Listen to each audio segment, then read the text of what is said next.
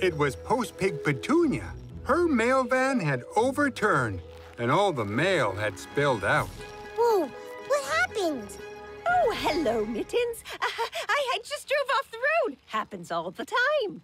What are you doing? Oh, just playing a guinea pig game while waiting for Fire Chief Grapefruit to show up. Looking.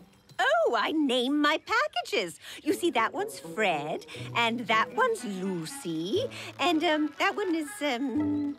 How about Lisa? Oh, that's very good. And that one's Drew and Marie and Norma and Shireen. Oh, you're very good at this game. Why, thank you.